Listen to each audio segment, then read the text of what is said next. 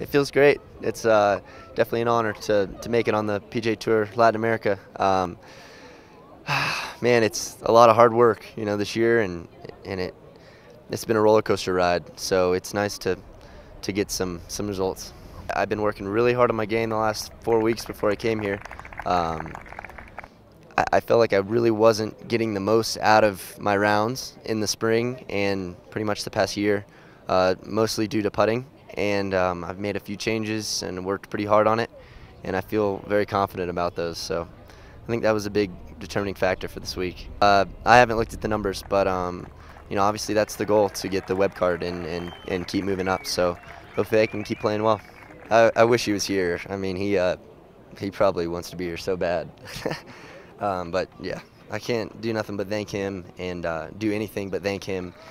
He's been such a big supporter. Um, he puts up with all my rants and my my my mood swings and I mean my mom and my dad and my whole family really um, especially my uh, you know my sisters my brother-in-laws um, McCarthy Addie Megan uh, my mom and dad it's just I have such a great support system and I'm very lucky.